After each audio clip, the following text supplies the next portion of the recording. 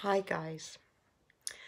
So, I just thought when I was just having some time with the Lord praying that I would do a video log of my healing journey because you'll saw you'll see that last week I shared well earlier in the week I shared that I'm healed of an incurable disease praise the Lord and I've heard this before from my really good friend Nellie Kaleva when she shared her testimony about how she was healed of MS and I used to hang on every word that she said about what happened, how she positioned herself to get to that place where she received her healing.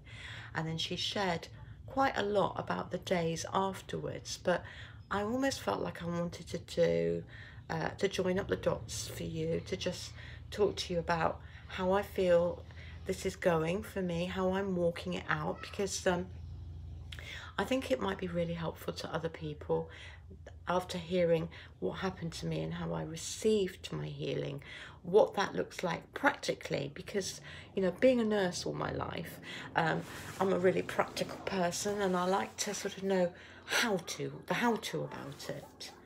So, um, one of the first things that happened after I'd received this healing, I knew that I just had to go and tell everyone. A bit like little Tommy went to tell everybody that his daddy had got a bike. So I have been telling everybody uh, that I'm healed. And you know, I've been feeling so fully persuaded about that that I've just been telling everybody that I meet. And some people look at me like I'm mad.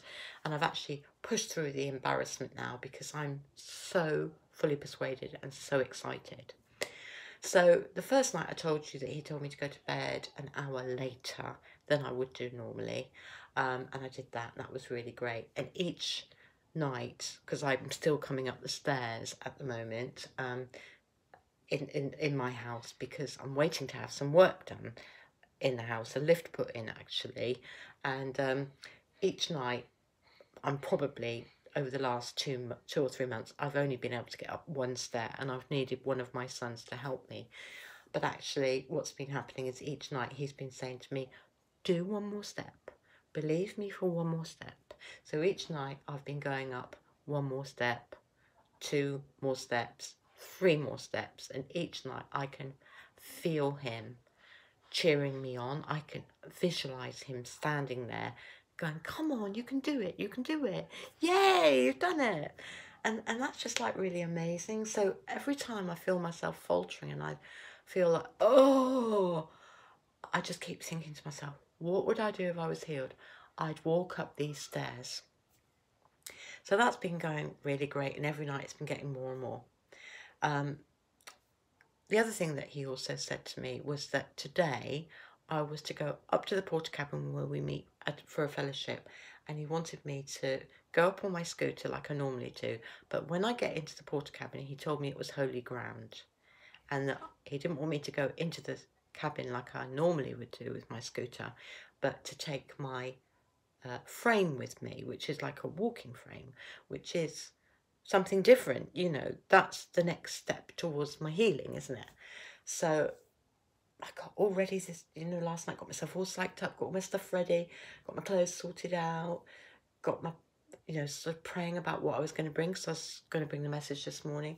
He told me what uh, songs we would be doing and basically kept whispering loads of stuff into my heart about what to share. So I was really excited. So I got up this morning all enthusiastic, whereas normally I'd feel quite daunted if I knew that I had to go out.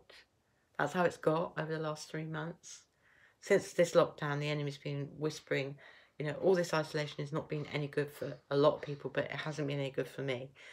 So, um, unfortunately, yesterday it was really hot, and that would normally negatively impact me. And so last night, I was really hot in bed, and I felt myself getting really discouraged and worried um, because you know if it gets so much over 28 degrees my, in the natural, my feet have swollen up historically. And so this morning when I came downstairs, I felt tired, even though I got out of bed and I was filled with enthusiasm. In the natural, in my flesh, and I could hear the enemy whispering to me, You'll never do it. And I was pushing through, saying, I am do it. I am going to do it. The Lord is the strength of my life. I am the healed of the Lord. walking in divine good health. I'm being healed. My daddy says I'm healed. Um, got phoned up all the people at the time and told them I'm on my way. Got to the door and I just looked at the steps going up outside and I just could not actually move. And it didn't matter how many times I spoke it out, I couldn't move. So in the end, I had to just sit back down and I had to make the decision because it was getting later and later that I wasn't going to go. And I just felt so condemned. I felt so defeated because I hadn't done what he'd put into my heart to do.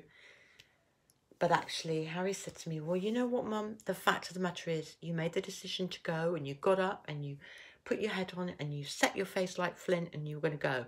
And the fact that you didn't get up the stairs, so what? You know, you. I felt he was saying, in effect, you might have lost this battle, but you haven't lost the war. So I came back into the kitchen. Praise the Lord, I was able to join up with the others on the phone and have a, you know, listen into what was going on, and that was a real blessed time. But I just felt him saying to me, There is no condemnation because you're in faith. So it doesn't matter. Just be blessed. And, you know, I've just spent this day just going back into his rest, just feeling, yeah, that I'm really cool here. And so, you know, I came to come upstairs, stayed up for an extra hour and a half tonight, which is amazing. Got to the bottom of the stairs, and I felt him saying, don't sit down and have a rest before you go up the stairs. Just go straight up the stairs. So I just just started walking up the stairs and just one step after the other, after the other. I was doing it. And I got to the second flight of stairs and I went up two more stairs just doing it. And then I thought about what I was doing and then I felt myself go freeze up. So ordinarily I would have called out to one of the boys and said, Can you come and help me? But I just felt him saying to me, My daddy says I'm healed. My daddy says I'm healed. So I just looked up and I said, Lord, you promised that we would call upon you and you would answer us.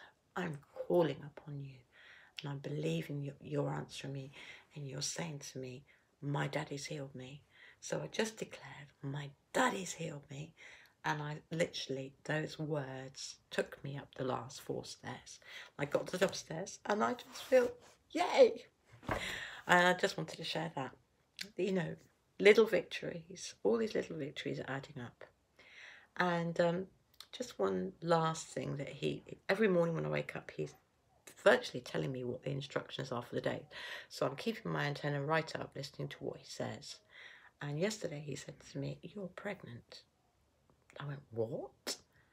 And yeah, I said, what do you mean I'm pregnant? And I just sort of started thinking about it because obviously I've had six children. I know what it feels like when you're pregnant. You, you fully know you're pregnant when you're pregnant. You know, your body's changing with all these amazing, miraculous changes going on in your body. When there's a new life growing in you, you just have this progesterone flush and, um, you know, your uh, breasts feel full and you feel this fullness in your belly. It's like being like your premenstrual. That's what it feels like. So that's amazing, isn't it? Because you know what's happened, but nobody else knows. And that's why so many people can conceal it for so long. But you know, that's just what he said to me is going on with me. I know something's changed in me. I can feel the difference physically, spiritually, and emotionally. I can feel the difference. But you know, apart from having a bit of a glow, because it's just really bizarre, I can feel this glow of this joy of the Lord coming out of me.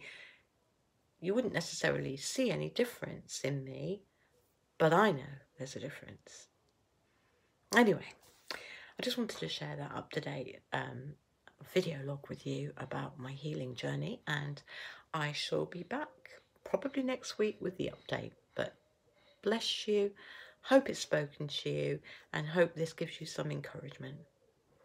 God bless.